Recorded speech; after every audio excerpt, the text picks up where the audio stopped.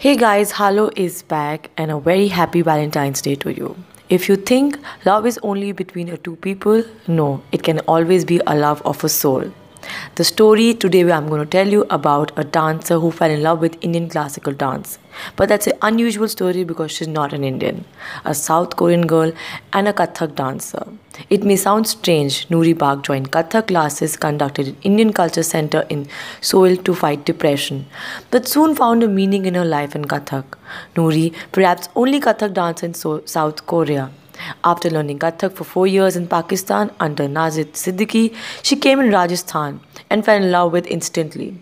She said she thought that Rajasthan is a place where she belongs to the Thar Desert, handicrafts, fresco art, folk music, and a beautiful life. She also said that the Jaipur Gharana is where she belongs to. There was a version of Rumi who said, Not only the thirsty seeks the water, the water as well seeks the thirsty. For her, music of Rajasthan is just an ocean where there is thirst, there is creativity, and spirituality. She thinks that Rajasthan is a homeland for her. She's traveled four countries but never found the attachment which she has in Rajasthan. So, this Valentine's Day is not just about an affair, it's an affair of two souls dance and a person. If you like a story, please.